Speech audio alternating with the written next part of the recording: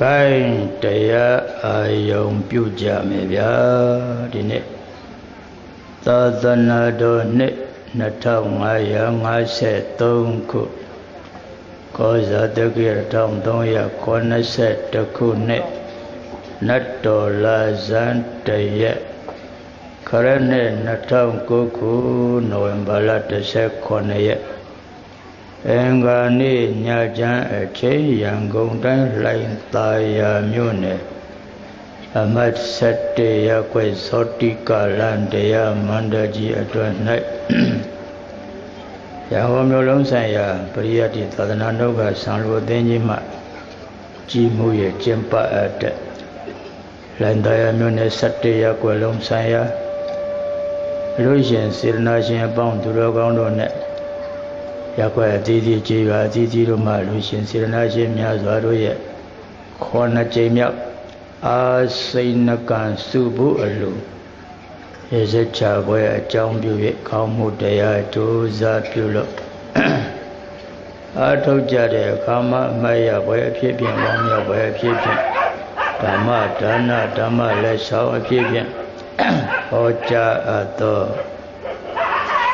မေတ္တာဖြူဖွေးအလှူပေးတရားတော်ပေါ့မေတ္တာဖြူဖွေးအလှူပေးဆိုတဲ့တရားအာယုံတို့နာယူကြမယ်ဗျမေတ္တာစကလုံးလေးစလက်ထာနဲ့ခွေးနှကောင်ကလည်းခလိုက်လာပြီးတော့စိန်ခေါ်ရဗျနော်မေတ္တာစကလုံးလေးကိုစလက်ထာနဲ့ အောင်မယ်ကိုရောတော့ကြီးကြီးကျယ်ကျယ်မေတ္တာမြောက်လောက်ဆုံးလို့လေကိုရောစကြည့်စမ်းပါပေါ့ဒီလိုခွန်းကောင်ကစစချင်းစိန်ခေါ်လာတယ်တော့မေတ္တာဖြူဖွေးအလှူပေးတရားတဲ့ဗျာမေတ္တာသာဂတိနစိတ္တသတ္တပပါဏဗုဒ္ဓေသူပရိဒဝဝိဟရတိ ဒါပရိသတ်ရဲ့နားရဲ့နှုတ်ကြောနေပြီသားကိုးပါးတိလာဓမ္မနောက်ဆုံးပါဠိဆိုတော့နှုတ်ထဲမှာလည်းရောက်နေကြမှာပါမေတ္တာသဟကတေနစေတသတ္တပပါဏဗုဒ္ဓေတုဖရိတဝဝိဟရတိမေတ္တာသဟကတေနစေတသကိုယ်စိတ်နှပြပေးရန်ကွာ၍ချမ်းသာစေကြောင်းမေတ္တာဆိုတဲ့စိတ်ထားကောင်းဖြင့် သဗ္ဗပါဏဗုတေသူတယောက်မကျွင်းခပင်ဩတုံလုံးစုံမြတ်စွာတတ္တဝါတို့၌သောရိတ္တဝါဒေသအနှံပုဂ္ဂိုလ်ပြောင်းပြန်ပွား၍ဝိဟရတိအေမြရှင်ပြုံးစိတ်နှလုံးဖြင့်ရှင်ပြုံးကြည်သာကောင်းစွာမသွေကျင်သုံး၍နေသင့်ပါပေတည်း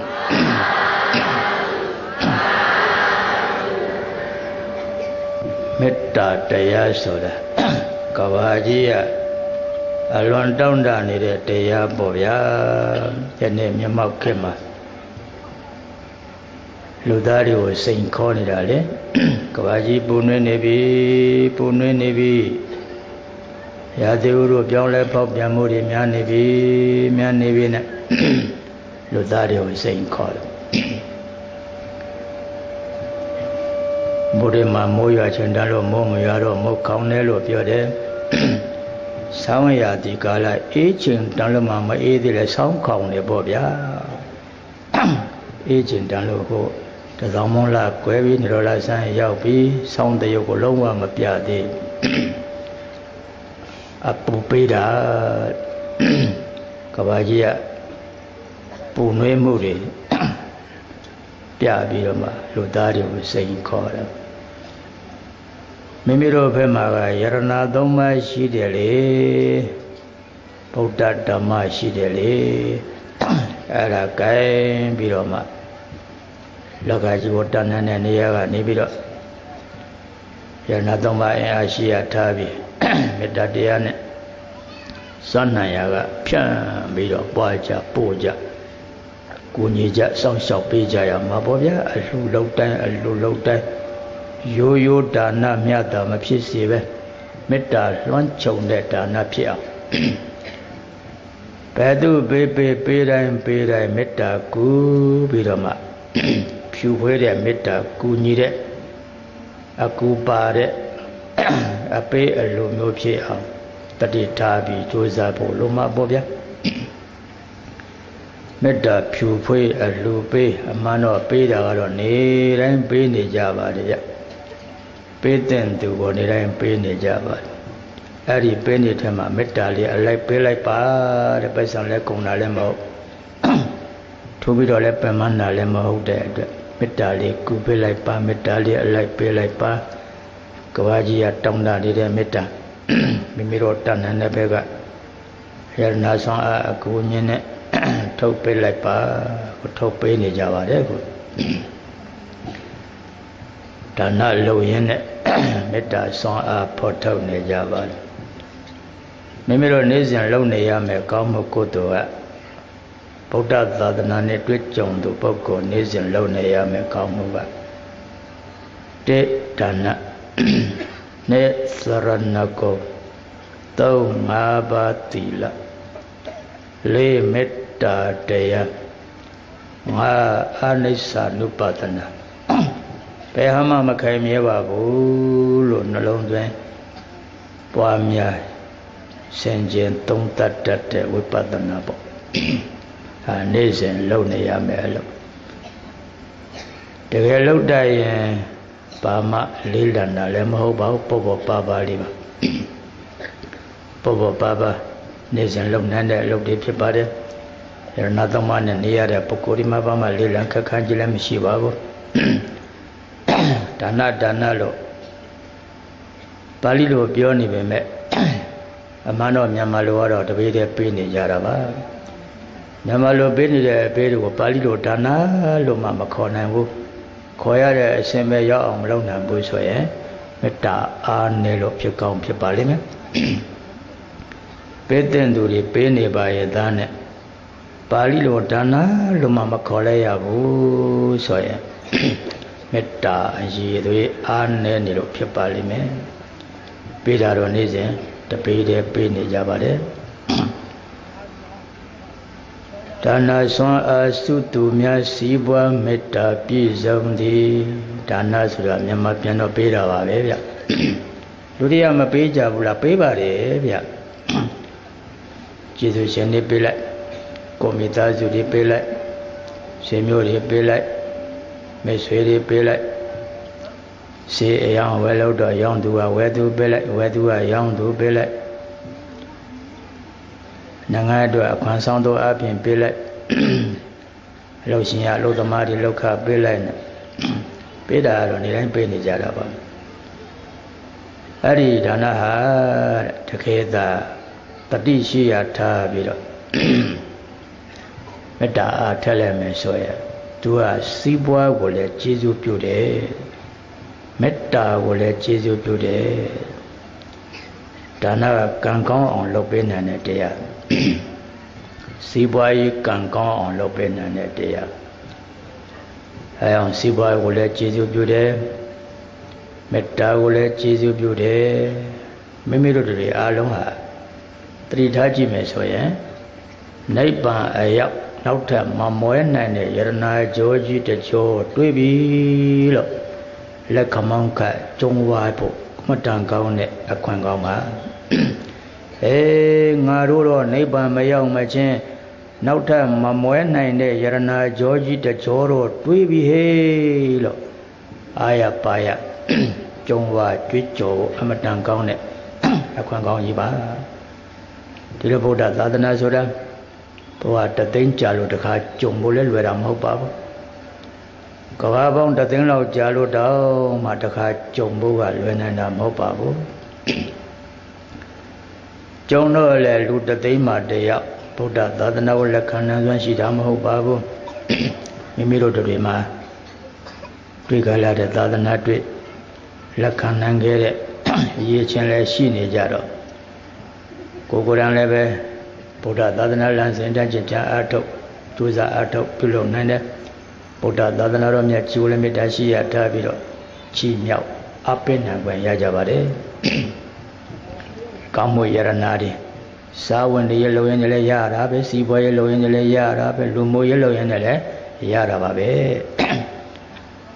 ကောင်းမှုတရားဆိုတာအမှန်တော့လူဘဝရဲ့အနှစ်ချုပ်လောက်ခရလတ်ပဲဗျာ ကိုယ့်ရဲ့လောက်ခရလတ်ကဒါပဲဒီပြင်ပိုက်ဆံတို့ပစ္စည်းတို့လောက်ခရလတ်ကဧည့်သည်တွေဗျာခဏနေပြီးသူကကုံသွားတာပြန်သွားတာကိုယ်စီကဘယ်တော့မှမပြန်တော့မဲ့စွမ်းအားလောက်ခရလတ်ဆိုတာကောင်းမှုတရားတစ်မျိုးတည်းရဲ့ဗျာဒီကောင်းမှုဆိုတာကလည်းဉာဏ်မျက်လုံးနဲ့ကြည်မာပဲမြင်ရပါတယ်ပဂရိမျက်လုံးနဲ့ကြည့်လို့မမြင်ရပါဘူးဉာဏ်မျက်လုံးကောင်းသူတိုင်း ကောင်းမှုရဲ့ဆွမ်းအားကိုသိခွင့်သိရှိနားလည်ခွင့်ရပြီးတော့ကောင်းမှုရတဲ့ရတဲ့ဘာရလို့ဝန်တာရနဲ့မှမတူဝန်တာရအတတ်ကြပါတယ်လူဘဝရဲ့လောက်ခရလဲတဏိတာလှုပ်ရှားလိုက်သမျှအလုံးချုပ်လိုက်တဲ့အခါကောင်းမှုမှာသွားပြီးတော့ပေါင်းစုရဒါကြောင့်ခုလိုညာဘန်းရောက်ရင်ပြန်ပေါင်းစုရဒီနေ့ကုသိုလ်တွေဘယ်လောက်ရလဲ ပြန်ပြီးတော့ပေါင်းရဒီနေ့ပိုက်ဆံဘယ်လောက်ရလဲပိုက်ဆံဘယ်လောက်ရလဲဆိုမှခုနပြောသလိုဧည့်သည်လေဗျဒီနေ့ရတဲ့ပိုက်ဆံအနောက်နေရှိခြင်းမှရှိမှဒီနေ့ရတဲ့ပိုက်ဆံအနောက်လာရှိခြင်းမှရှိမှဟုတ်တာပေါ့ပိုက်ဆံကဆုတ်ကန်ထားဖို့ရှာရမှမဟုတ်တာဗျသုံးဖို့ရှာတော့သုံးကုန်မှာပေါ့ဗျမကုံနိုင်တဲ့အရာကကောင်းမှုတရားအဲ့ဒီကောင်းမှုကလည်းအထူးအပြင်နိဗ္ဗာန်ဥတည်ပြီးတော့ပြုလုပ်တဲ့ကောင်းမှုကမှတကယ် လူရဲ့လောကရလစစ်ပါမိမိတို့တွေအားလုံးဟာကောင်းမှုအရှိန်နဲ့လာတော့ကကောင်းမှုအရှိန်နဲ့လာခဲ့ကြတာဒါကြောင့်နေတော့လေကောင်းမှုအရှင်နဲ့နေနိုင်အောင်တတိထားကြိုးစားကြရတယ်။ကောင်းမှုအရှင်နဲ့နေနိုင်မှလည်းအပြန်ခရီးကြတော့ကောင်းမှုအရှင်နဲ့ပြန်နိုင်မှာပေါ့ဗျာဒီတော့မှမယိမ်မလဲဖြောင်းဖြောင်းမတ်မတ်ရှေ့ဆက်နိုင်ကြမှာပေါ့။ နောင်ရေးကိုတွေးလိုက်လို့ရှိရင်လူကိုအားရှိသွားစေနိုင်တဲ့အရာတွေကောင်းမှုတစ်မျိုးတည်းပဲရှိပါတယ်ဗျ။ကောင်းမှုကလွဲရင်ကျန်တဲ့အရာတွေကအမြဲတမ်းအားရှိစေနိုင်တဲ့အရာများမဟုတ်ပါဘူးဟဲ့ငါမှခန္ဓာကြီးရှိသားပဲဘာပို့ဖို့လို့သေးလဲဒီလိုလည်းမကြုံပါရပါဘူးဗျာခန္ဓာကြီးဟာအိုမဲနာမဲသိမဲပြည့်စည်မဲသူလည်းအာကိုလို့ထာဝရအာကိုလို့မရ ငါပစ္စည်းတွေရှိသားပဲဟိုးပစ္စည်းရလည်းဧည့်သည်တွေလေရန်သူမျိုး၅ပါးနဲ့လည်းဆက်ဆံနေတယ်သူလည်းအမာခံလုပ်ပြီးအာပြုလို့မရငါဆွေမျိုးတွေရှိသားပဲဩဆွေမျိုးတွေကလည်းဘဝတကွေခဏတွေ့ကြတာပါလေဧည့်သည်ဒီပါချင်းတန်သူလန်းကိုလန်းအာလုံးလန်းခွဲကြမှာပါ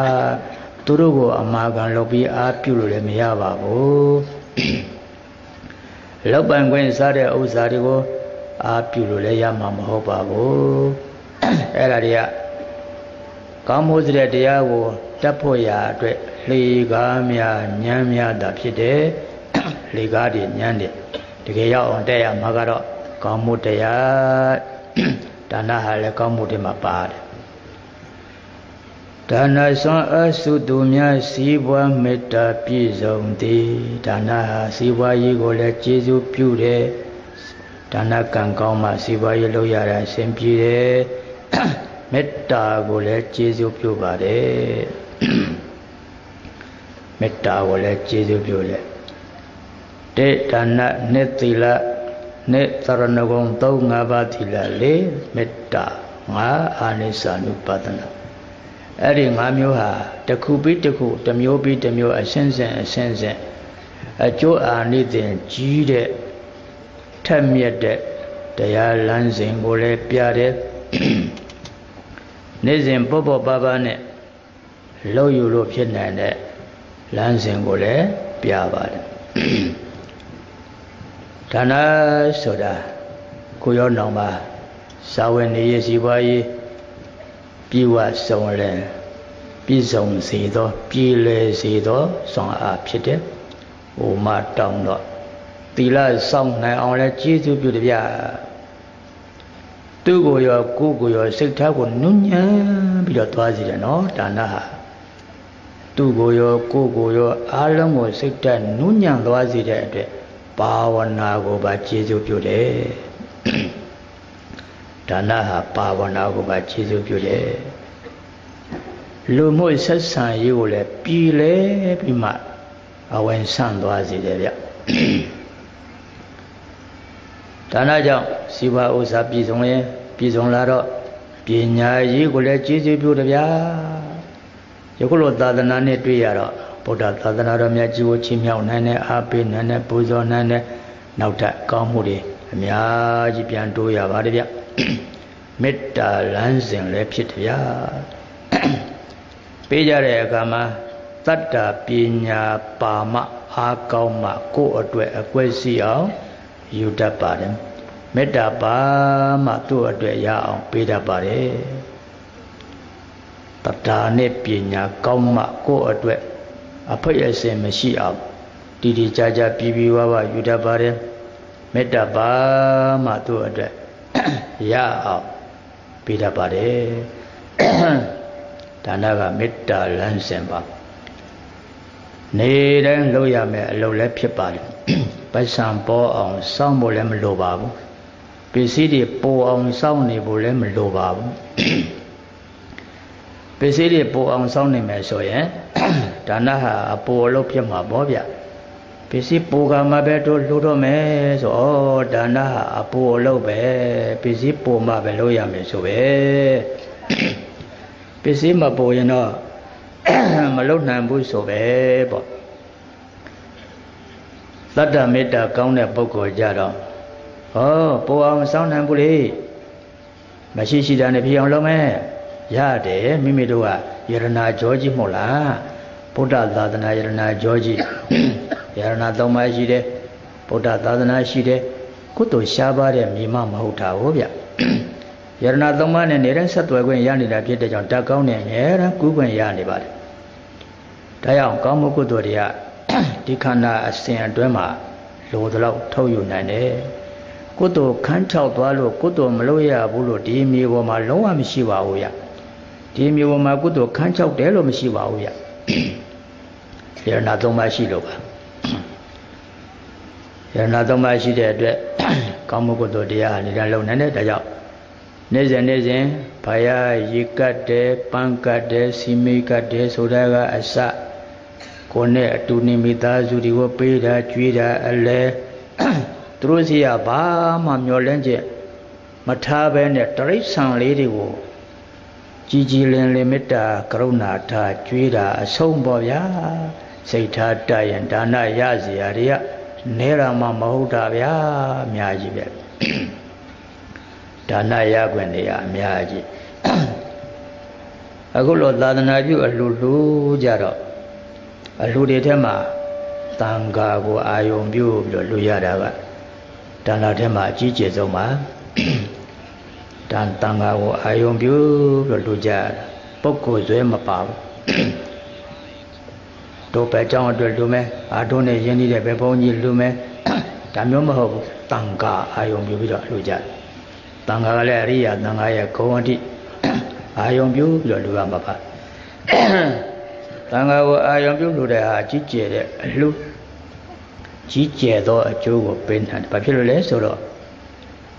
တန်ခါသည်ကောင်းမှုမျိုးစီကျဲချစိုက်ပျိုးရာလေယာမြေကောင်းတပွဲဖြစ်တယ်။ပြီးတော့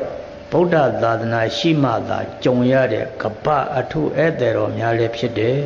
။ကပ္ပအထုဧည့်သည်တော်တဲ့ပါဟုနေရကောဧည့်သည်အတွက်တိတ္တစီမံထားတဲ့အရာတွေကို အလှခံထိုက်တဲ့အထုဧည့်သည်ကပ္ပအထုဧည့်သည်တွေဖြစ်တယ်ပြီးတော့ဖယားမရှိတဲ့နောက်ယရဏသုံးပါးလုံးကိုကိုးစားပြုပြီးတော့သာသနာကိုစောင့်ရှောက်ပေးနေတဲ့ပုဂ္ဂိုလ်များလည်းဖြစ်တယ်လူတဲ့အခါမှာအရိယာတန်ခါရဲ့ဂုံအထိအာယုံပြုလူဖို့လိုပါတယ်ပုဂ္ဂိုလ်အနေနဲ့သုံးသပ်လူတာတဲ့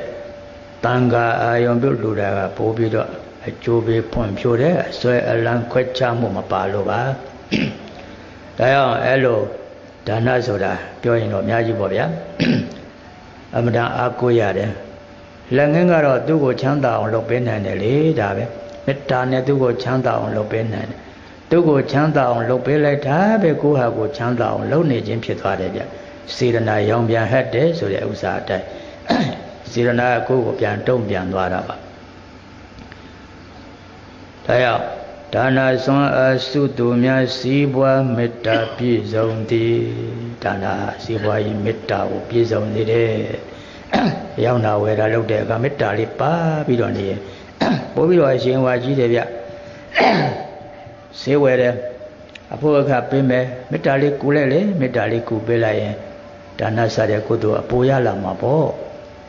ကိုယ်စီကဘယ်တော့မှပြန်မသွားတော့မဲ့ကောင်းမှုတွေကြံခဲ့မှာပါစေရောက်နေ ပိုက်ဆံရကုန်လေရောင်းတာမဟုတ်ဘူးကုသိုလ်ရအောင်မှရောင်းတော့မှမေတ္တာလေးကူပေးလိုက်ချမ်းသာပါစေဒီပစ္စည်းကြောင့်ချမ်းသာပါစေမေတ္တာလေးကိုလိုက်တယ်ဆိုရင်ဒါနစတဲ့ကောင်းမှုတွေကိုယ်စီမှာကြံနေကြတော့မှမေတ္တာအလိုက်ပေးလိုက်တာနဲ့ပေးသမျှအကုန်လုံးဟာဘာပေးပေးဒါနကြီးဖြစ်တော်တာဗျဒါနရှိရသွားလိုက်တော့သီလကလာကျုပ်တို့လည်းလိုက်ပါမယ်ခမညာမေတ္တာသမာဓိရလည်းဟာကျုပ်လည်းလိုက်ရမှာပေါ့ခမညာ စိတ်ညင်တဲ့ညင်ချမ်းပါတော့ဝိပဿနာကလည်းအိုးကျုပ်လည်းလိုက်ရုံပေါ့ခမညာအစုံပဲဗျာသရဏဂုံစိတ်ဝဲထုံလုံးချုံအေးမြသည်သရဏဂုံသရဏဂုံ၃ပါးဗုဒ္ဓသာသနာနဲ့တွေးခက်ကလေးပဲဆောက်တည်ခွင့်စိကခွင့်ရတဲ့သရဏဂုံပေါ့ဗျာ ယရနာနဲ့ထိုက်တန်တဲ့ပုံကံရှိတဲ့ပုဂ္ဂိုလ်တွေယရနာနဲ့ထိုက်တန်တဲ့တတ္တပညာအားကောင်းတဲ့ပုဂ္ဂိုလ်တွေမှသာနှလုံးအိမ်မှာထဲပြီးတော့မှဘေးနိုင်ခွင့်ရှိတဲ့ယရနာဆွမ်းအား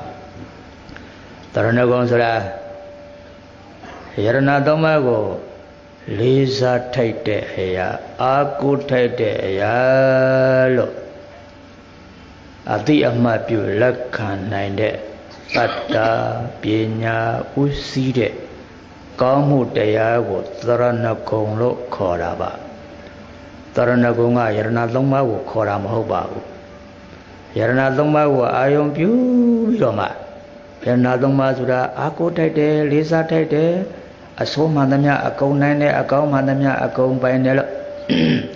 အတိအမှတ်ပြုလက်ခံနိုင်တဲ့ တတ္တပညာဥစည်းတဲ့ကောင်းမှုကုသိုလ်တရားကိုတရဏဂုံခေါ်တာယရဏသုံးပါးကိုတော့တရဏလို့ပဲခေါ်တယ်ဂုံမပါဘူးဂုံဆိုတာကကမနစိကခြင်းစိကတဲ့ကောင်းမှုကောင်းမှုကုသိုလ်တရားယရဏသုံးပါးကိုတရဏ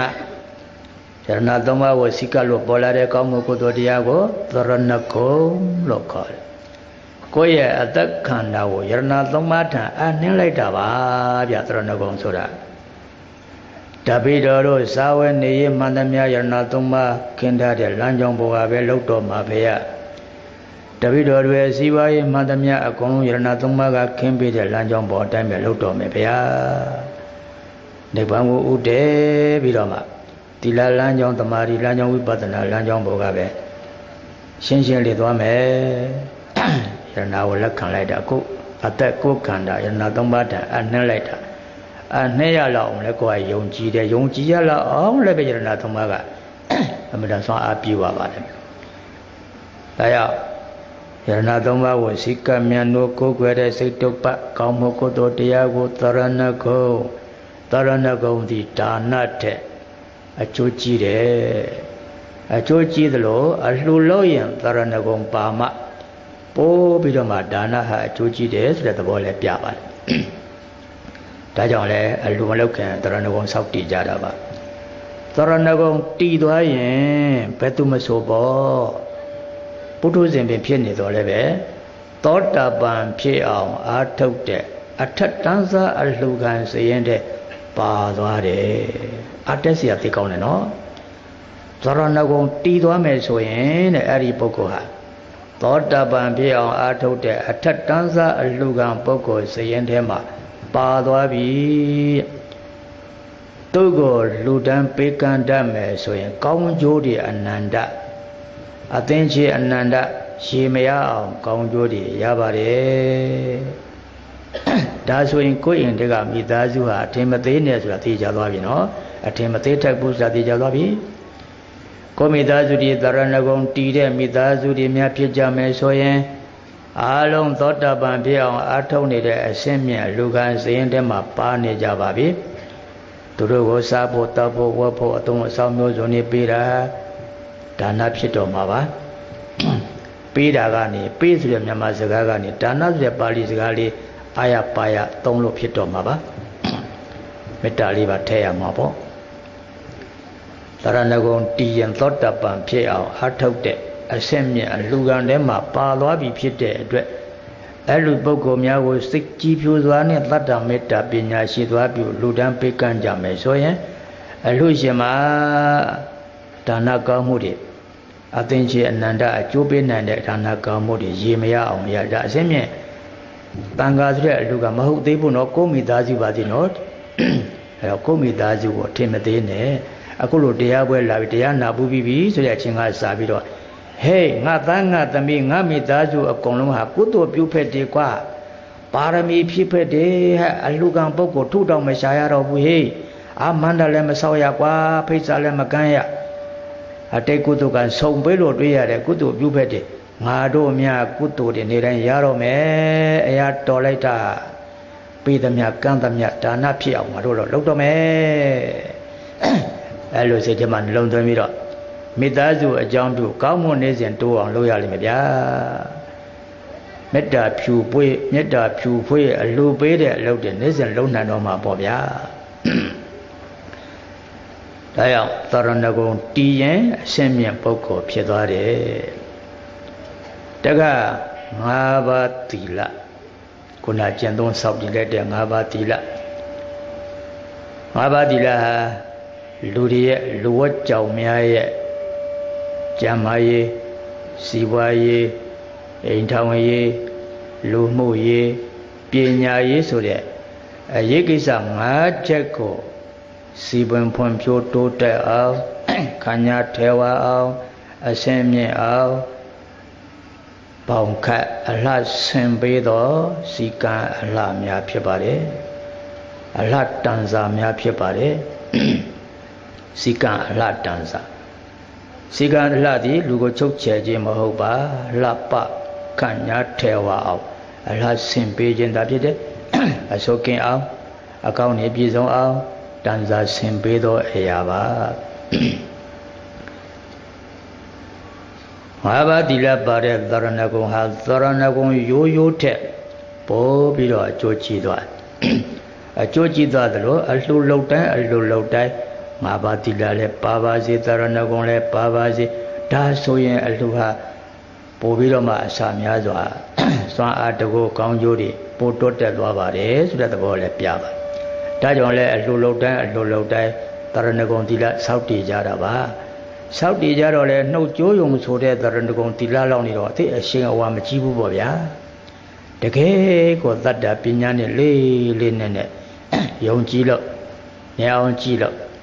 အဲ့လိုစောက်တည်တဲ့သရဏဂုံသီလကနည်းနည်းတော့တော့အရှင်မဟုတ်ဘူးနော်အမတန်အရှင်ကြီးတာယရဏသုံးပါးကြောင့်အရှင်ကြီးကသိကြီးတာဒါကြောင့်ပို့ပြီးတော့အကျိုးကြီးတာဖြစ်တဲ့ကြောင့်အလိုလိုတန်းအလိုလိုတန်းသရဏဂုံသီလစောက်တည်ကြပါတယ်သရဏဂုံသီလဟာအလှရှင်ကိုပို့ပြီးတော့အကျိုးကြီးသွားစေတယ်အလူခံကိုလည်းပို့ပြီးတော့အကျိုးကြီးမှသွားစေပါတယ်ဒါကြောင့် လူလူချင်းပေါ့ကုသိုလ်ကောင်းမှုလုပ်ကြတဲ့အခါမှာအများအပြားတချို့ဖိတ်ကြားကြတယ်မလားဗျာမိတ်ဆွေတွေအပေါင်းအသင်းတွေယဉ်နှီးသူတွေဖိတ်ကြားရတယ်ကျွန်တော်တို့ကျမတို့ဘယ်ကြောင်းမှာအလိုလုံးမလို့ပါအလိုကြွရောက်ပြီးတော့သုံးဆောင်ပါတရားလဲနာပါဘယ်ချင်းတရားနာကြမှာပါဖိတ်ကြားတတ်ကြတယ်ဗျဖိတ်ကြားတတ်လို့ရှိရင် အဲ့ဒီအလှကိုသွားမဲ့ပုဂ္ဂိုလ်ဟာအေးငါတို့ကမေတ္တာနဲ့ချင်းမြောက်တဲ့အနေနဲ့သွားမယ်ကွာသွားရမယ်ချင်းမြောက်ဖို့သွားတာနော်သူကြွေးတဲ့အလှကိုစားဖို့ဆိုတဲ့အဓိကကလောက်မဟုတ်တော့သူကမေတ္တာနဲ့ငါချင်းမြောက်မှာကွာဆိုပြီးတော့အိမ်ကစားပြီးတော့သာရဏဂုံဆောက်တီးသွားမယ်ငါးပါးသီလဆောက်တီးသွားမယ်ဟော သွားတရဏဂုံသီလကအလှရှင်ကိုအကျိုးကြီးစေတာကိုအလုံးအကျိုးကြီးသွားစေတာတရဏဂုံသီလစောက်တည်သွားမယ်ခန္ဓာတန့်စင်ပြီးတော့မှငါသွားမယ်သူလှူတဲ့ဓမင်းလေးတစ်လုံးစားပွဲတောက်ပွဲလေးပဲဖြစ်ဖြစ်အကျိုးကြည့်အောင်ငါသရဏဂုံသီလနဲ့အမွန်းထုံပြီးတော့ချီးမြှောက်မယ်မေတ္တာပါတွဲပြီးတော့ချီးမြှောက်မယ်ဟောဟိုမှာလှူလိုက်ရတဲ့အလို့ရှင်ပုဂ္ဂိုလ်ဟာတန်ခါမဟုတ်သေးဘူးနော်သရဏဂုံတည်တဲ့ ငါးပါးသီလလုံနဲ့လူဝက်ကြောင်ပုဂ္ဂိုလ်ကိုပေးလိုက်ရတာတောတပံဖြစ်အောင်အာထုတ်တဲ့အဆင့်မြင့်အလူကံတွေမှာပါသွားတာဆိုတော့ကောင်းကျိုးတွေကအများကြီးရပြီဗျာဒါကြောင့်အလှခံသွားတဲ့အနေနဲ့သွားတော့မယ်ဆိုရင်တရဏဂုံတီလာဆောက်တည်ပြီးမှသွားတာကပိုကောင်းတယ်ကိုယ့်အတွက်လည်းတေချာတဲ့အလုပ်လုပ်တာလေသူ့အတွက်လည်းချီးမြှောက်တဲ့အနေနဲ့လုပ်တာလေနှစ်ပတ်လုံးကောင်းတာကြီးပဲဗျာအဲ့ဒီဒါလောက်ရမှာပဲရ ဘယ်သူကအလှဖိတ်လို့သွားမလို့ပါကဲတို့အင်္ဂါစာပြီးတော့တရဏဂုံဆောက်တည်ပြီးသွားကြစို့ငါးပါးတီလာပါလုံအောင်ဆောက်တည်ပြီးမှသွားကြစို့ကြောင်းကြတော့လေဘုန်းကြီးကတရဏဂုံတီလာပေးအောင်မယ်ဆိုတော့လေဆောက်တည်ရုံပေါ့အင်္ဂါစာပြီးတော့တန့်စင်သွားတာကတော့ပိုအကောင်းဆုံးပါပဲဗျာမေတ္တာနဲ့ချီးမြှောက်တာနဲ့မေတ္တာလည်းပါသွားရမှာပေါ့ဗျာငါးပါးသီလတောင်းမှအကျိုးကြီးစီတယ်ဆိုတော့ ဒီတဲ့အစင်မြင့်တဲ့၈ပါးတို့၁၀ပါးသီလတို့ရှင်ရဟန်းများရဲ့သီလတို့ဒီလိုအစင်မြင့်သီလတွေပြည့်စုံရင်တော့ဗာပြောစရာလူတော်မှလည်းဒါနဟာအစများစွာတိုင်းတာကန့်တာရည်တွက်လို့မရအောင်ကျိုးတွေကြီးသွားပါလေဗျာအဲရမလို့ကောင်းကျိုးတွေလိုချင်လွန်းလို့ပေါ်ကြီးကျင်လွန်းလို့အခုအလိုလိုကြတော့လဲတရဏဂုံသီလတွေစောက်တည်ကြတာပဲမို့လားဗျနှုတ်ကျိုးလို့ဆိုလဲအဆိုမြတာမပြီးစီပဲတ ရပညာရှိစင်နဲ့ဆောင်ရွက်ကြတာပါဗျ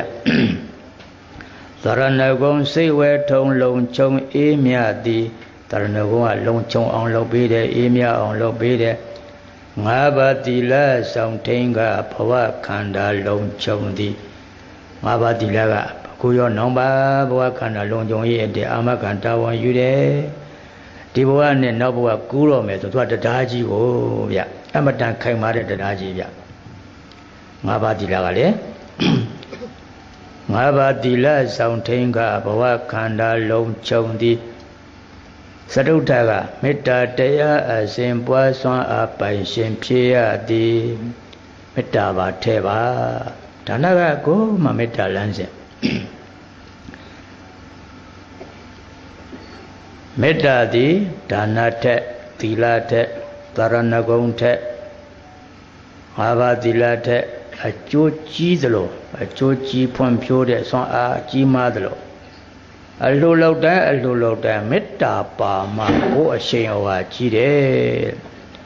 အလှလို့ရမေတ္တာပါမှအရှိန်အဝါကြီးတယ်ဒါကြောင့်အလှလို့ရမေတ္တာလေးထည့်ပါလူတဲ့ပုဂ္ဂိုလ်ကလည်းအလူကံပုဂ္ဂိုလ်ပြရန်ကင်းလို့ကျမ်းမာချမ်းသာပါစေ အလူခံတဲ့ပုဂ္ဂိုလ်ကလည်းလူပေးတဲ့ပုဂ္ဂိုလ်ပြရန်ကင်းလို့ကျမ်းမာချမ်းသာပါစေမြတ်စွာဘုရားကတော့အစ္စရသင်္ကတလက်ဖြောက်တစ်ချက်တီးလေးပဲဖြစ်ဖြစ်မေတ္တာလေးညွှန်လိုက်ပါကိုမအကောင့်ထုတ်သုံးနိုင်တဲ့ဘဝရောက်နေပြီပဲအကောင့်လေးထုတ်ပေးလိုက်ပါဘာမှချွတ်တာစရာမလိုပါဘူးအကောင့်ဖြစ်တဲ့မေတ္တာလေးကိုပြန်ပြန်မဟုတ်ပါဘူးတဲ့လက်ဖြောက်တစ်ချက်တီးလက်ဖြောက်တစ်ချက်တီးဆိုတာ ပါဇက်နဲ့ပို့လို့တော့ပဲပြီးမလဲဗျာစိတ်နဲ့ညွှတ်ထားပါစိတ်နဲ့ဘေးရန်ကင်းလို့ကြမ်းမှချမ်းသာပါစေလို့ညွှန်လိုက်တဲ့မေတ္တာလေးအဲ့ဒီမေတ္တာတော့မှအရှင်သိကြီးတာဒီတဲ့အကျေများရင်ဘာပြောစရာလိုတော့မှလဲဒါကြောင့်ပေးသူကလည်းလက်ခံယူမဲ့ပုဂ္ဂိုလ်ပေးရန်ကင်းလို့ချမ်းသာချမ်းသာပါစေဤပစ္စည်းကြောင့်အလူကံပုဂ္ဂိုလ်ပစ္စည်းယူမဲ့ပုဂ္ဂိုလ်ပေးရန်ကင်းလို့ချမ်းသာချမ်းသာပါစေ ဤပစ္စည်းကြောင့်ကောင်းမှုကုသိုလ်တွေတိုးပွားပါစေရရှိပါစေမေတ္တာပို့တော့ကုသိုလ်ပါပါမှအထွတ်အထည်ရောက်တယ်ဗျ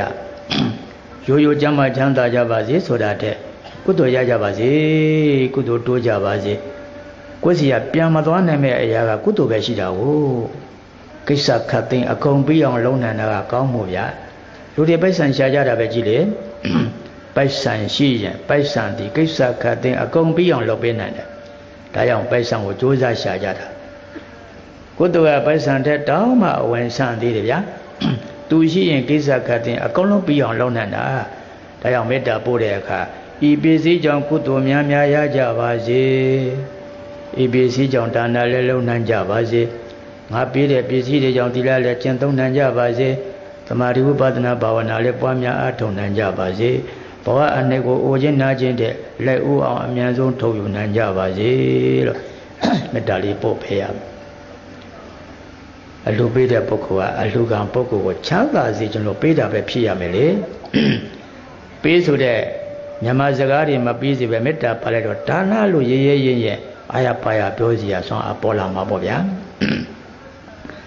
အလုခံယူသူကလည်းအလုပေးတဲ့ပုဂ္ဂိုလ်ကိုဘေးရန်ကင်းလို့ချမ်းသာချမ်းသာကြပါစေ။ ဒါအောင်စောစောကပြောခဲ့တဲ့မေတ္တာဟာဒါနဟာပေးသူရောယူသူရောနှစ်ဖက်စလုံးကိုစိတ်တက်နုညံ့သွားစေတဲ့အတွက်ဘာဝနာကိုပါကျေစုပြုတယ်ဆိုတာလေမေတ္တာစတဲ့ဘာဝနာကိုပါကျေစုပြုတယ်အဲအောင်မေတ္တာပါထည့်ပေးပါမေတ္တာဆွမ်းအားလေးပါထည့်ပေးပါအဲအောင်မေတ္တာတရားအစဉ်ပွားဆွမ်းအားပိုင်ရှင်ဖြစ်ရသည် ဆွမ်းအားပိုင်ရှင်ဖြစ်ပါတယ်ပေးရမျိုးစုံလုံးချုံပါတယ်ကဘာကြီးထဲမှာလဲအေးဓာတ်တွေပြန်သွားပါလိမ့်မယ်ဗျာကိုပို့လိုက်တဲ့မေတ္တာဒီညလေးတင်ချုပ်ပြောင်းမသွားဘူးလေတတ္တိတွေနဲ့နဲ့အရှင်းဆက်အရှင်းဆက်ဟောဒီကဘာထဲမှာပါပြန်ပြီးတော့ခြေစုပ်ပြသွားတာဗျာဒါကြောင့်အလိုလိုတိုင်းအလိုလိုတိုင်းမေတ္တာတွေပါထဲထဲပေးမှမိမိတို့တာဝန်လည်းကြည်မှာပေါ့ဗျာ လုတ်တဲ့ကောင်းမှုကုသိုလ်လည်းပဲအရှင်ဟောပိုးကြီးမှာပေါ့ဗျာတကိုးလည်းပိုးထပ်သွားမှာပေါ့ဗျာပင်စမကအနိစ္စဟုမြင်အောင်ရှုပူမှုကင်းလွတ်သည်ဝိပဿနာလေးပါထည့်ပါအနိစ္စဟုမြင်အောင်ရှုပူမှုကင်းလွတ်သည်မေတ္တာဆိုတဲ့တရားကဝိပဿနာပါကျေစုပြုတယ်ဗျဘာဖြစ်လို့လဲဆိုတော့ तू ကအေးနဲ့စတာဆိုစိတ်ထဲမှာ အလုံးတွေအကျစ်တွေအခဲတွေကြီးပြီးတော့သွားတယ်ဗျဟောလူကိုမကျင်တဲ့ဒီလူကိုမကျင်တဲ့ဟောလူကိုအခဲမကြီးဒီလိုကိုအခဲမကြည့်ဆိုဒီအလုံးနဲ့အကျိတ်တရားခြေမောသွားတယ်ဗျမေတ္တာများများပို့စမ်းကြည့်ပါဗျာဘယ်သူကိုမကျင်နဲ့ဆိုတာတစတစပျောက်သွားမှာဗျအဲ့လိုအလုံးအကျိတ်အခဲတွေကကြီးသွားတော့ဝိပဿနာရှုလို့တိတ်လွယ်သွားတယ်ဘယ်နေရာစိုက်ရှုစိုက်ရှု သွားရင်ရှုရှုစားရင်ရှုရှုချက်ရင်ပြုတ်ရင်လည်းပဲရှုရှုရုပ်တရားနံတရားသဘောလေးတွေမြင်ရတယ်အမြဲတမ်းပြောင်းလဲနေတဲ့အနိစ္စသဘောလေးတွေမြင်ရတယ်အိစ္စပိုင်ရဲ့ဒုက္ခနဲ့အနတ္တလည်းမြင်ပြီးသားကိုဒါကြောင့်အနိစ္စလည်းမြင်အောင်ရှုပါဘာဟာမမခဲမြဲပါဘူးလို့ရှုမြင်သုံးသတ်တဲ့အနိစ္စ ानु ပဒနာဝိပဒနာဟာ ဒါနသီလသရဏဂောမေတ္တာတရားတို့ထက်အကျိုးအာနိသင်စွမ်းအားပိုးပြီးတော့ကြီးမားသလိုအလှလုတ်တော်လည်းပဲအာနိသနုပဒနာဝိပဒနာလေးထည့်ပြီးမှလှူမှပဲပိုးပြီးတော့ဒါနဟာအရှင်ဝါကြီးပါတယ်လို့အဲ့ဒါကိုလည်းပြပါတယ်ဗျအဲကြောင့်အလှလုတ်တဲ့အခါထည့်တွဲရမှာလေးခုနော်သရဏဂုံစောက်တည်ရမယ်ငါးပါးသီလစောက်တည်ရမယ်မေတ္တာပို့ရမယ် မခိုင်မြဲပါဘူးအလှရှင်တဏ္ဍမှာဖြစ်နေတဲ့ယုံနံတဲ့အလူပေးတဲ့ပုဂ္ဂိုလ်တဏ္ဍမှာဖြစ်တဲ့ယုံနံတွေလူယံပစ္စည်းသတ်မဲ့လူယံပစ္စည်းတဏ္ဍမှာဖြစ်နေတဲ့ယုတ်တရားတွေဘယ်ဟာမှမခဲမြဲပါဘူးလို့ညံသွင်းပြီးတော့ထက်မြက်တဲ့ညံလေးနဲ့ထိုးဆွပြီးတော့မှကြီးစုသုံးသပ်နှလုံးသွက်လိုက်ရဲ့အရှိအတိုင်းမြင်ခွင့်ရသွားပါတယ်အရှိအတိုင်းမြင်ခွင့်ရသွားတယ် ပဋိဌာဉာဏ်နဲ့ကြည့်လိုက်တဲ့အခါမှာတိတတ်တဲ့အရာရောသိစရာတွေရောဘယ်ရာမှရက်နေတာလို့မရှိတလှုပ်လှုပ်တဖြုတ်ဖြုတ်ဩအမြဲရည်စည်းနေတဲ့မြစ်ထဲကရေများကြည့်နေရတယ်လို့ပါပဲမြစ်ထဲမှာစီးနေတဲ့ရေကိုကြည့်လိုက်တဲ့အခါအမတ်တမဲ့ကြည့်သူကတော့ဟာရေတွေရှိသားပဲစီးနေလို့ပါလားမနေ့တုန်းကရေတွေပဲကုတ္တတစီးနေသေးသလိုလို အရင်လာတုန်းကရေတွေပဲကုတ္တတစီးနေသေးသလိုလိုသူကတော့အဲ့လိုထင်ချင်းထင်ပါပါပဋိဌာပညာနဲ့ကြည့်လိုက်တဲ့ပုဂ္ဂိုလ်ကတော့ဘယ်ချင်းကြည့်လိုက်ကြည့်လိုက်ရေရှိပါလားသို့တော့အရင်ရေမဟုတ်ပါဘူးနောက်ထပ်အစားထိုးလာတဲ့ရေကိုငါအခုမြင်ရတာပါအရင်ရေကအောက်ကိုအဟုတ်အဝေးကြီးစီးသွားပါပြီပြီသူအဲ့လိုခွဲသိပါတယ်နောက်တစ်ခါပြန်ကြည့်လိုက်တယ်ဟာရေတွေစီးလို့ပါလား ဒါပေမဲ့အရင်ရေမဟုတ်ပါဘူးအရင်ရေကဟိုးအောက်စီးလို့အဝေးကြီးရောက်သွားပါပြီပြီနောက်ထပ်အစားထိုးဝင်ရောက်လာတဲ့ရီဝတာမှာအခုမြင်နေရတာပါအဲ့လိုခွဲသိတယ်မြစ်ထဲမှာစီးနေတဲ့ရေအားလုံးကလည်းမြစ်ထဲကနေအမြဲတမ်းဖဲခွာနေကြတယ်ရုပ်ထွက်နေကြတယ်ငါဒီမြစ်ထဲမှာအမြဲမနေဘူးအမြဲမနေဘူးခဏလေးဖြတ်သွားတာခဏလေးဖြတ်သွားတာ ရေအားလုံးဟာမြစ်ထဲကခဏလေးဖြတ်သွားကြတာပါအမြဲနေမဲ့ရေတွေမပါပါဘူးဒါညာနဲ့ခွဲကြည့်ရင်သိခွင့်ရတဲ့အတိလေးနော်အဲ့ဒါမျိုးလိုပဲမိမိတို့ရဲ့ခန္ဓာမှာရှိတဲ့ခန္ဓာအစင်မှာဖြစ်နေကြတဲ့ယုံ nant တရားတွေဟာလည်းပဲအမတ်တမဲ့ကြည့်တဲ့ပုဂ္ဂိုလ်ကတော့ဘယ်အချင်းကြည့်ကြည့်တဲ့သလုံးယုံ nant တွေတွင်းမှာပေါ့ဗျာအမတ်တမဲ့ကြည့်တော့မနေ့တုန်းကယုံ nant တွေပဲခုတည်းတည်းရှိနေသေးသလိုလို အရင်လာတုန်းကယုံ nant တွေပဲခုတည်းတည်းရှိနေသေးသလိုလိုသူကတော့အဲ့လိုထင်နေမှာပေါ့တတိထားညာနဲ့ကြည့်လိုက်တော့မှတလောက်လောက်တဖြိုးဖြိုးပြောင်းနေတာဘယ်ချင်းကြည့်ကြည့်ရှိလိုက်တော့ယုံနာရှိတယ်ဒါပေမဲ့အရင်ကမဟုတ်ပါဘူးအရင်ကချုပ်ပြောက်သွားပြီးပြီနောက်ထပ်အစားထိုးဖြစ်ပေါ်လာတဲ့ယုံနာကိုပဲငါအခုတွေးရတာပါနောက်တစ်ခါပြန်ကြည့်လိုက်တယ်ဩယုံနာနေရှိနေသေးတာပဲ ဒါပေမဲ့အရင်ကမဟုတ်ပါဘူးအရင်ကချုပ်ပြောက်သွားပါပြီနောက်ထပ်အကြောင်းတစ်ကြောင့်ပေါ်လာတဲ့ယုံနာတွေကိုပဲအခုမြင်ရတာပါစသည်ဖြင့်ခွဲခြားပြီးသိပါတယ်ယုံနာအားလုံးနေရလဲဒီခန္ဓာအစဉ်ကနေအမြဲတမ်းဖဲခွာနေကြတယ်ယုံထွက်နေကြတယ်ငါတို့ဒီခန္ဓာပေါ်မှာအမြဲမနေဘူးအမြဲမနေဘူးခဏလေးဖြတ်သွားတာခဏလေးဖြတ်သွားတာဖြည့်ပြဲဖြည့်ပြဲဖြည့်ပြဲဖြည့်ပြဲနဲ့ ခဏလေးဖြတ်သွားတာပါတဲ့ဒီခန္ဓာမှာအမြဲနေမဲ့ယုံနာမပါပါဘူးဒါသတိထားဉာဏ်နဲ့ကျင့်နေတယ်မဲ့မြင်ရဒါကြောင့်သိတတ်တဲ့အရာရောသိစရာအရာတွေရောတတိထဉာဏ်နဲ့ခွဲကြည့်လိုက်တော့ဘယ်အရာမှမရတလှုပ်လှုပ်တဖြုတ်ဖြုတ်ပြောင်းပြီးတော့သွားနေကြတဲ့သဘောတတိထဉာဏ်နဲ့ကြည့်တယ်အဟောင်းနဲ့အသစ်အမြဲတမ်းအလဲအလှယ်လုံနေကြတဲ့သဘောနော် အလဲအလှယ်လုံနေတာတတိမထဘယ်သူမှမသိပါဘူးဗျာအမှန်တော့စက္ကမနစ်မလားအလဲအလှယ်လုံနေတယ်နော်ဒီခန္ဓာမှာအဟောင်းနဲ့အသစ်အမြဲတမ်းအလဲအလဲလုံနေကြတဲ့သဘော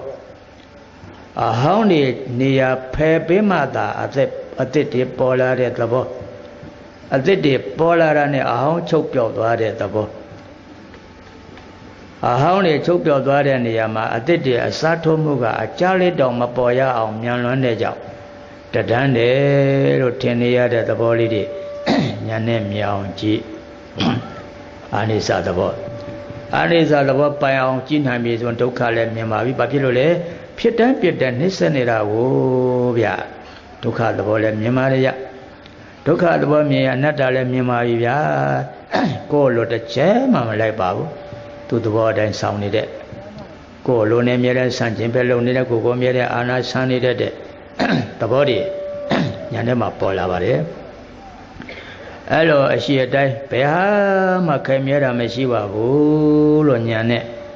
ကြည့်ရှုသုံးသပ်ဆုံးဖြတ်တတ်တဲ့အခါကျတော့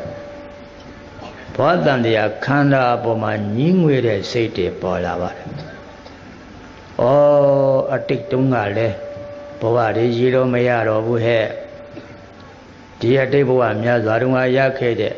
စီစဉ်ဥစ္စာအသုံးအဆောင်တွေကိုစကားအနေနဲ့သာပြောလို့ရတော့တယ်။လက်ညှိုးထိုးပြစရာတခုမှလည်းမရှိတော့ပါလား။အကုန်လုံးချုပ်ပြောက်ကုံဆုံးပြီးသွားကြလေပြီယခုလောလောဆယ်တွေ့ကြုံနေရတဲ့အရာတွေလည်းပဲမကြခင်လည်းညှိုးထိုးပြစရာမကြောင်အကုန်လုံးချုပ်ပြောက်ကုံဆုံးသွားအောင်ပါပါ ဒီကုသိုလ်ကြောင့်နောက်ထပ်ရလာမဲ့နိဗ္ဗာန်မရောက်မရင်ရလာမဲ့ခန္ဓာတွေလည်းပဲဘာထုလဲချင်းတန်းချုပ်ပြောက်ကုံဆုံးပျက်စီးကုန်ပါပါပဲဘာတခုမှလည်းဆုတ်ကန်ထားလို့လည်းမရပါလားနော်ဘယ်ဘဝမှာမှလည်းအတိတကျနေခွင့်လည်းမရပါလားတန်တရားချင်းများညှင်းငွေဖို့ကောင်းလိုက်တာဆိုတဲ့အဲ့ဒီအတိကြီးပေါ်လာလိမ့်မယ်ဗျဒီလိုပေါ်လာတော့မှနိဗ္ဗာန်ဘက်ကိုစိတ်ကချင်းကပ်နိုင်တာကိုဗျာ ဒီလိုအသိမပါဘဲနဲ့နိဗ္ဗာန်နဲ့ချင်းကပ်လို့မရဘူးဗျတဏှာကကန့်လန့်ကန့်လန့်နဲ့အရန်ရှုပ်တာဗျဉာဏ်ထက်ထက်နဲ့နိဗ္ဗာန်ဘက်ချင်းကပ်နိုင်ပြီဆိုတော့ဟောတဏှာကနောက်ဆုတ်သွားတယ်ဗျာနိဗ္ဗာန်စကားအလွန်ခါတာဟာနိဗ္ဗာန်စကားအလွန်ခါတာဟာတဏှာဗျနိဗ္ဗာန်နိဗ္ဗာန်လို့ပြောလိုက်ရင်တဏှာကနောက်ဆုတ်သွားတယ်ဗျသူနောက်ဆုတ်သွားတဲ့အတွက်ကောင်းမှုအရှိန်နဲ့တအားတက်သွားပါတယ် ဉာဏ်အရှင်ကြောင့်ကံအရှင်နဲ့တအားတက်ပြီးတော့နိဗ္ဗာန်မရောက်မချင်းအကျိုးပေးကြမဲ့ကောင်းမှုတွေဟာလည်းပထမတန်းစားရှမ်းရှမ်းတောက်ကြီးပဲပေးသွားပါတော့တယ်ဗျာ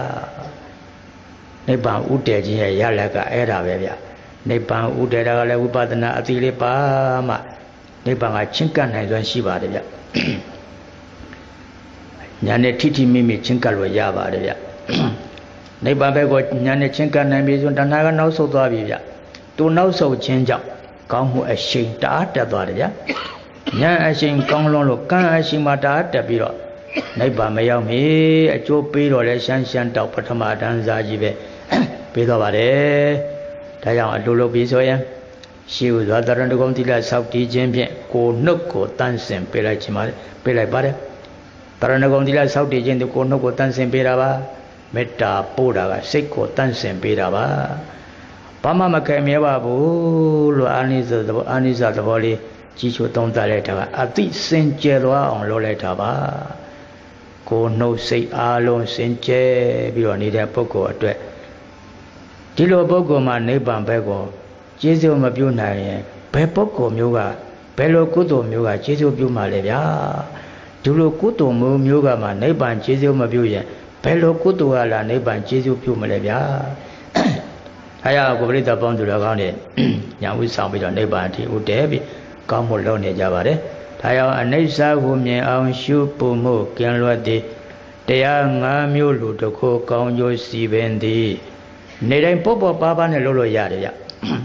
ဘုရားတဲ့အကြောင်းဆောက်တူကတော့အချင်းအများအများကြီးပေးရမှာပေါ့လေဘုရားရေကတ်တာဘာမှအချင်းကြကြမပေးရဘူးဗျဘုရားရေကတ်တာပန်ကတ်တာစီမီကတ်တာ မိမိစတော့မဲ့ဥဒ္ဓါတွေကဥဥဖြားဖြားဆွန်ကတ်တာဘာမှထူးပြီးတော့အကြောင်းကြစိုက်เสียမသိမရှိလာဘူးဗျပေါ်ပေါ်ပါပါပဲဗျသရဏဂုံများဗျာပခတ်တာမှမဟုတ်ပဲတရားပညာဆက်လိုက်ရင်လွယ်လွယ်လေးဟောဗျငါးပါးသီလများဗျာသရဏဂုံနောက်ကကတ်လဲလာတဲ့ငါးပါးသီလပဲတရားပညာရှိလွယ်လွယ်လေးဟောဗျမေတ္တာများဗျာတတိတာရှိရထားရင်ကိုမိသားစုအစားအာလုံးမေတ္တာပို့ရတာကြီးဟောဗျပေါ်ပေါ်ပါပါလေးရဲ့ဗျ အာနိသနုပဒနာဗျာတတိလေးနဲ့သာဖော်ပြီးညာလေးသာဆက်လက်စမချက်ချင်းပေါ်လာတာပါဗျာဒါကြောင့်ဒီ၅ခုဟာလေးလေးပင်ပင်ကြီးလုံနေရတဲ့ကောင်းမှုမဟုတ်ဘူးနေ့စဉ်ပေါ့ပေါ့ပါပါလေးလုပ်လို့ရတယ်ဒါကြောင့်တရား၅မျိုးလူတကိုကောင်းကျိုးစီပင်သည်ရှည်စွမ်းအားထက်နောက်အားတက်ထဲမြက်သာလွန်သည်ဒါနာထက်တရဏဂုံကသာလွန်တဲ့သဘော တရဏဂုံထက်၅ပါးသီလကသာလွန်တဲ့သဘော၅ပါးသီလကဆိုတာတရဏဂုံတွဲတဲ့၅ပါးသီလပြောတာတရဏဂုံတတ်တတ်ထက်၅ပါးသီလတွဲတဲ့တရဏဂုံကသာတဲ့အကြောင်းပြောတာအဲ့ဒီထက်မေတ္တာကပိုးပြီးတော့အကျိုးသားအကျိုးပြသာလွန်တဲ့အဲ့ဒီထက်အာရိဇာနုပဒနာဝိပဒနာကပိုးပြီးတော့အကျိုးပြသာလွန်တယ်ရှည်စွမ်းအားထက်နောက်အားထက်ထက်မြက်သာလွန်သည်အလှလုတ်လျင် နောက်စွမ်းအင်းအစဉ်ပါရမီအလှလုတ်တိုင်းအလှလုတ်တိုင်းတိသရဏဂုံနှစ်ငါးပါးတိလသုံးမေတ္တာတရားလေးဘာမှမခိုင်မြဲပါဘူးလို့ကြီးစုသုံးတတ်တဲ့ညာမျက်လုံးတေချာဖွင့်ပြီးတော့ကြီးစုသုံးတတ်တဲ့အနိစ္စ ानु ပဒနာဝိပဒနာဒီလေးကိုပါရမယ်ဒါဆိုရင်ကိုယ့်ရဲ့ဒါနကတော့ဗျာမပေါက်ဖို့ပေါ့နိဗ္ဗာန်ရောက်အကျိုးပြီးတော့လဲရှမ်းရှမ်းတောက်ကြီးပေါ့ဗျာ အမဒါအားကိုရတဲ့အကောင်းမှုဖြစ်မှာတေချာသွားတယ်ပေါ့ဗျာဒါလေးလိုက်ဆိုကြမယ်ဒါနဆွန်အားစုသူများစီဝမေတ္တာပြည့်စုံသည်စီဝမေတ္တာပြည့်စုံသည်သရဏဂုံစိတ်ဝဲထုံစိတ်ဝဲထုံလုံကြုံအေးမြသည်လုံကြုံအေးမြသည်ငါးပါးသီလငါးပါးသီလစောင့်ထိန်ကစောင့်ထိန်က ဘဝခန္ဓာလုံကြုံသည်ဘဝခန္ဓာလုံကြုံသည်မေတ္တာတရားမေတ္တာတရားအစဉ်ပွားအစဉ်ပွားသွန်အပ်ပိုင်ရှင်ဖြစ်ရသည်သွန်အပ်ပိုင်ရှင်ဖြစ်ရသည်အနိစ္စဟုအနိစ္စဟုမြင်အောင်ရှုမြင်အောင်ရှုပူမှုကင်းလွတ်သည်ပူမှုကင်းလွတ်သည်တရားငါမျိုးတရားငါမျိုးလူတကိုလူတကိုကောင်းကျိုးစီပင်သည်ကောင်းကျိုးစီပင်သည် ရှေ့စွမ်းအားထက်နောက်အားတက်ထက်မြက်သာလွန်သည်အလှလုတ်လျင်နောက်စွမ်းအင်အစင်ပါရမည်မေတ္တာဖြူဖွေးအလှပေးစေအေးရပေသည်ဒါနာစွမ်းအား စုသူများဇီဝမေတ္တာပြည့်စုံသည်သရဏကုံစိတ်ဝဲထုံလုံခြုံအေးမြသည်ငါးပါးသီလစောင့်ထိန်ကဘဝခန္ဓာလုံခြုံသည်မေတ္တာတရားအစဉ်ပွား သွန်အပိုင်ရှင်ဖြစ်ရသည်အနိစ္စဟုမြင်အောင်ရှုပူမှုကင်းလွတ်သည်တရားငါမျိုးလူတကိုကောင်းကျိုးစီပင်သည်ရှေစွန်အားထက်နောက်အားတက်ထက်မြက်သာလွန်သည် အလှလုတ်လျင်နောက်စွမ်းအင်အစဉ်ပါရမည်မေတ္တာဖြူဖွေးအလှပေးစိတ်အေးရပေသည်ဒါကြောင့်အလှပေးရင်မေတ္တာပါမပို့စိတ်အေးရတဲ့အဆင့်အလုံးမြင့်တဲ့ကောင်းမှုအစုံတွေရမယ် အရင်ဆုံးကိုဟာကိုပေါင်းရတယ်ဗျကောင်းမှုရဖို့အတွက်တစ်ကိုဟာကိုအရင်ပေါင်းနဲ့သက်မဲ့ပစ္စည်းတွေနဲ့ဒုတိယဆက်ပေါင်းသုံးသက်ရှိပုဂ္ဂိုလ်များနဲ့တတိယဆက်ပေါင်းဒီသုံးခုမှာပေါင်းလို့အခက်ခဲဆုံးကကိုဟာကိုပေါင်းရတာအခက်ခဲဆုံးဗျာကုသိုလ်လုပ်ကြတဲ့အခါနော်ပေါင်းရအခက်ခဲဆုံးကကိုဟာကိုဗျာ ဘာဖြစ်လို့ကိုဟာကိုပေါင်းရတာခက်တာလဲအခက်အခဲချင်းနှစ်ခုရှိတယ်လေဒုက္ခကိလေသာတဲ့။အိုခြင်းနာခြင်းစတဲ့ဒုက္ခရဲ့လောဘဒေါသမောဟဥစည်းတဲ့ကိလေသာတွေရဲ့ဒီအခက်အခဲကြီးကိုဖြတ်ကျော်ဖို့မလွယ်တဲ့ကြောင့်ကိုယ့်ဟာကိုပေါင်းရတာအမတန်ခက်ခဲပါတယ်။ကိုယ့်ဟာကိုပြေးလဲအောင်ပေါင်းနိုင်ပြီဆိုရင်တော့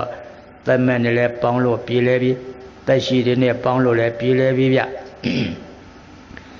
အဲ့ဒီအခက်အခဲတစ်ခုကိုကျော်လွန်ဖို့ရာအတွက်မပြတ်ကင်ထားရမှာကတော့အကျင့်တရားတွေထဲမှာအကြီးကျယ်ဆုံးဖြစ်တဲ့အပမာဒခေါ်တဲ့သတိအဲ့ဒါကိုများများကင်ထားရ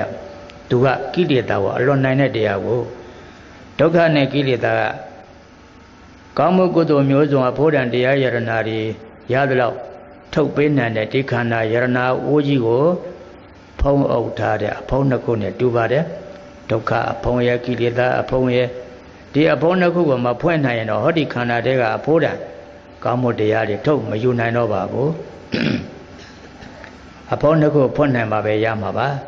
ဘယ်အဖုံးစဖွင့်မလဲဆိုတော့ဒုက္ခအဖုံးကိုစမဖွင့်ပါနဲ့ဒုက္ခအဖုံးကအသေးပိတ်ထားတာပါခန္ဓာရှိနေသမျှဒုက္ခရှိပါတယ်ကိလေသာအဖုံးကကြီးပေမဲ့ဆိုးပေမဲ့သူကတော့ခလောက်နဲ့ တတိသောဆံမပြောက်အောင်သာကင်ထားပဲအချိန်ပွင့်ပွင့်ပွင့်နေထွက်ပေါက်ကလေးရဒါပဲဗျဒုက္ခနဲ့ကိလေသာမှာကိလေသာကိုဖွင့်ပါဖွင့်တယ်ဆိုတာရှောင်တိန်တာကန့်ခွာထင်းချုပ်တာပြောတာအပြတ်တော့ပဲပယ်နိုင်အောင်မလဲအရိယာဖြစ်မှာပဲအပြတ်ပယ်နိုင်မှာပေါ့ဘုဒ္ဓဇင်ကကုသိုလ်လုပ်ခြင်းကုသိုလ်လုပ်လို့ဖြစ်အောင်ကန့်ခွာထင်းချုပ်နိုင်ရင်ဒါကိုပဲပယ်တယ်ပြောလိုက်တာပဲရှောင်တိန်တယ်ပြောလိုက်တာပဲ ကိလေသာကတော့ခလောက်နဲ့တတိသောစန္တာမပြောင်းအောင်ကြင်ထားအချိန်မွေးဖွင့်ပါပွင့်တယ်ဒါကြောင့်ကိုသားသမီးပေးတဲ့အခါမှာကိလေသာသောခလောက်တန်ရောစဉ်သောခလောက်တတိနဲ့ဖွင့်ပြီးခါမှာပေးမှပဲဒါနဖြစ်မယ်နော်ဒီတိုင်းကြီးတန်ရောစဉ်ရှိုးရှိခါရင်ပေးလို့ဒါနမဖြစ်ဘူးနော်တန်ရောစဉ်ကိုထိုးဖောက်လို့မရဘူးဆိုဒါနဘောပေါ်မလာတော့ဘူးနော်တန်ရောစဉ်ကိုထိုးဖောက်လို့ရမှတတိယထိုးဖောက်လို့ဖြစ်ပါတယ် တတိယတန်ရောစဉ်သောခလောက်ကိုကောင်းကောင်းဖွင့်နိုင်တယ်သူဖွင့်နိုင်တာနဲ့ကိလေသာတန်ရောစဉ်ဖွင့်နိုင်တာနဲ့ဒုက္ခကဖွင့်ဖို့တောင်းမလိုတော့ပါဘူးဗျအလိုလျောက်ဖြတ်ကျော်နိုင်သွားတယ်အဲ့ဒီခါမှာဒီခန္ဓာပေါ်မှာကောင်းပြီဆိုရအကောင်းနေထုတ်ယူလို့ရပါပြီဒါကြောင့်တတိထားပြီးတော့ပေါင်းရင်ဒီခန္ဓာဟာပေါင်းလို့အဆင်ပြေပါတယ်ပြေးလဲပါတယ်ကိုယ့်အကိုပြေးလဲအောင်ပေါင်းတော့အကောင်းနဲ့သာပေါင်းရမှာမဟုတ်ဘူးအဆိုးနဲ့လည်းပြေးလဲအောင်ပေါင်း အိုခြင်းရှိတယ်နာခြင်းရှိတယ်နော်အိုခြင်းနာခြင်းကိုရံမလုံးနဲ့ဒေါသနဲ့ရံမလုံးနဲ့လို့ပြောတာမညွန်ညင်နဲ့အိုရမယ်ခန္ဓာမလို့အိုတာထောက်ခံလိုက်စမ်းကြည်ကျင်နဲ့ထောက်ခံလိုက်စမ်းအေးကွာမင်းကတွန်းအားပေးတော့ငါကုသိုလ်မမေ့ရဲဘူးပေါ့ကွာကုသိုလ်တော့တွန်းအားပေးခြင်းလည်းဖြစ်တယ်ပြီးတော့တတိထညာနဲ့စိုက်ရှုရင်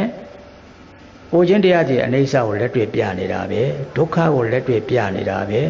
အနတ္တကိုလက်တွေ့ပြဝိပဿနာရှုလို့တဲကောင်းများကိလေသာတော့ခလောက်တာဖွင့်ထားရင်တော့အိုဒုက္ခဟာဝိပဿနာအာယုအာရှုလို့သိကောင်းပေါ့ဗျာဒါအပေါင်းတတ်တာနော်ကိုဟာကိုအပေါင်းတတ်မှာအိုတာကိုကုသိုလ်ရဲ့အာယုံအဖြစ်ယူတတ်မှာဗျာနာတာလည်းထို့တူပါပဲဗျာနာလာအေးကွာမင်းကနာလာတော့ငါကုသိုလ်မလွှဲရဲဘူးပေါ့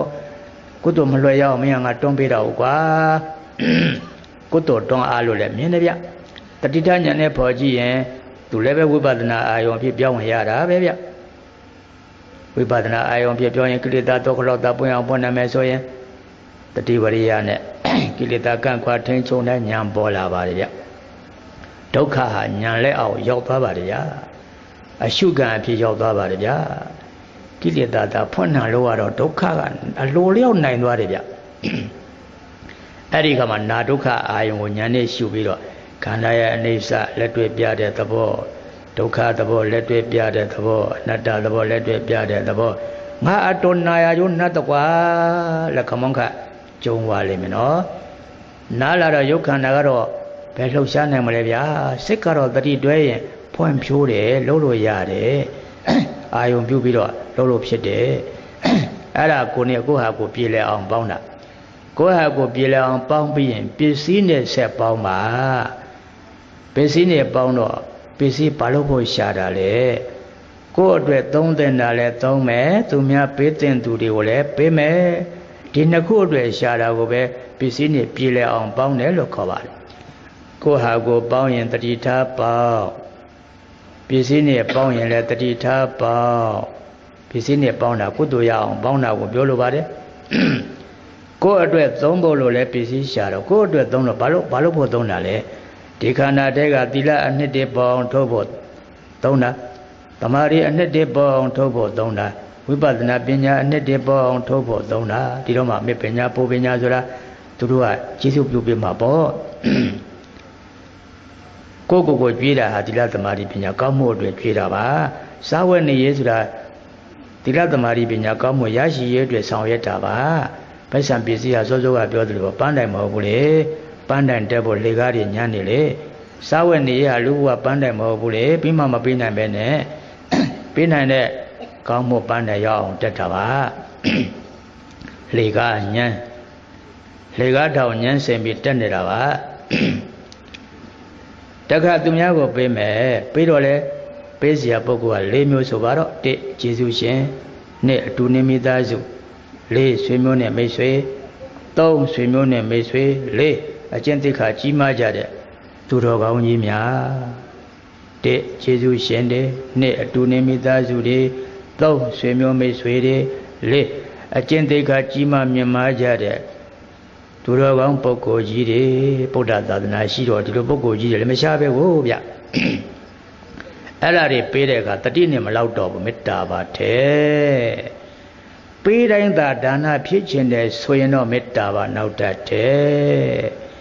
ပေးဆိုတဲ့မြန်မာစကားလုံးကိုဒါနဆိုတဲ့ပါဠိလိုအာရပါရသုံးကျင်တစ်ပါးဆိုရင်တော့မေတ္တာပါတဲ့ဒါဆိုရင်အလုံးဒါနဖြစ်မယ်နော်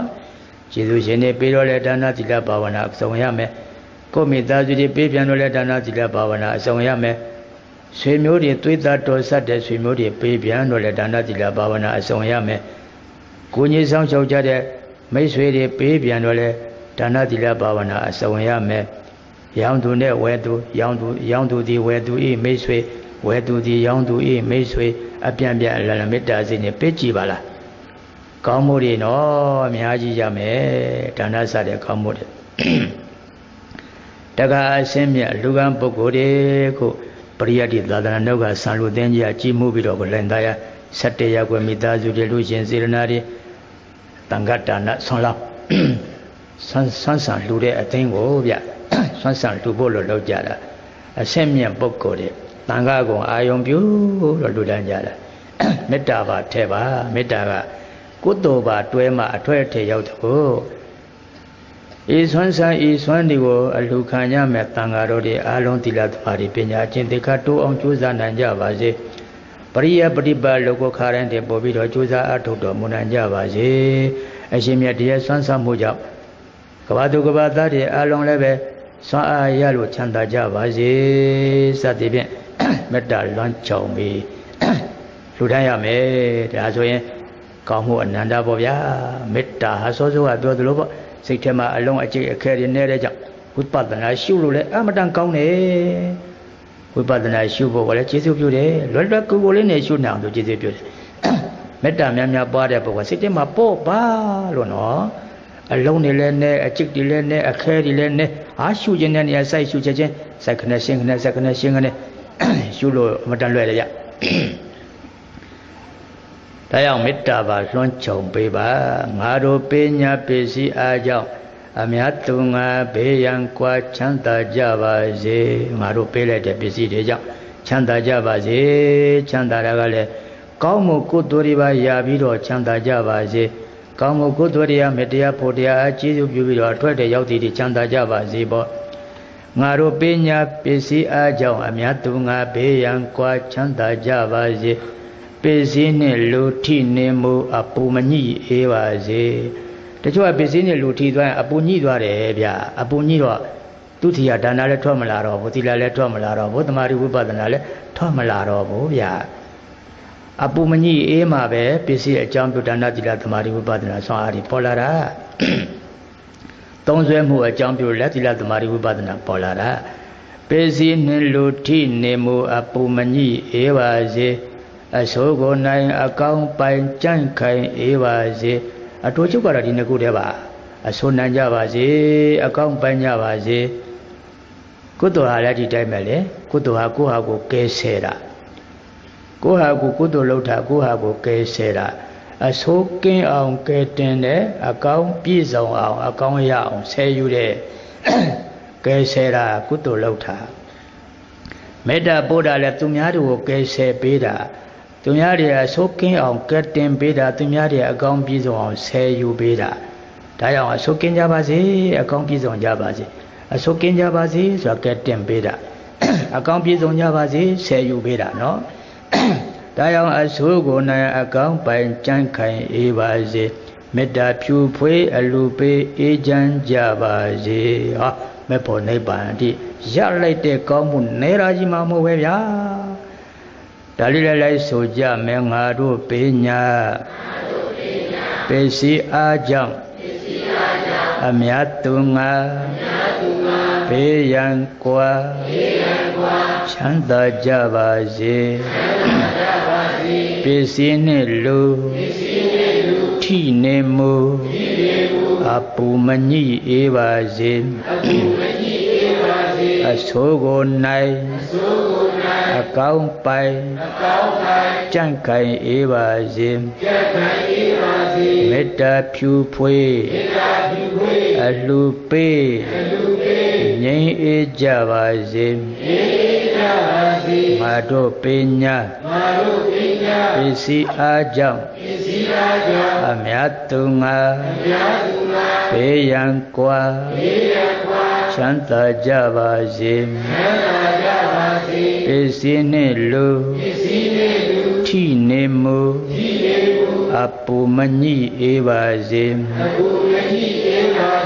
ဆိုးကိုနိုင်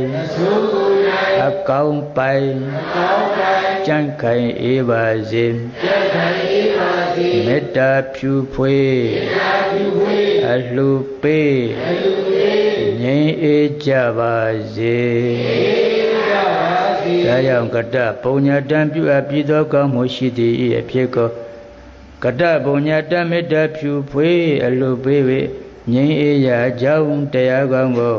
ပါဏိတဖယအစရှိကုန်သောပညာရှိသူတော်ကောင်းတို့သည်ပတန်တန်ဒီမေတ္တာနှလုံးအလားဆုံးဖြင့်ရှင်ပြုံးကြည်သာကောင်းစွာမသွေချီးမွမ်းတော်မူကြလေကုန်သတည်း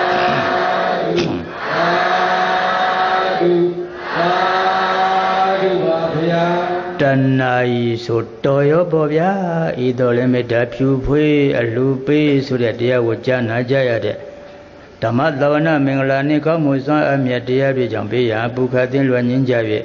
ကောင်းကျိုးချမ်းသာများကြီးပွားတိုးတက်ပြည့်စုံကြပြည်လင်းကြမ်းမှမချမ်းချမ်းသာသာပျော်ပျော်ရွှင်ရွှင်အားကိုးစရာဘဝအနှစ်ကောင်းမှုကိုယ်ပိုင်တရားတိုးပါအောင်ကြိုးစားအားထုတ်နိုင်လွယ်ကြလျက်တဘဝလုံးတရားစွမ်းအပြင်တည်ငြိမ်ရင့်ကျအေးချမ်းစွာနေနိုင်ကြပြီ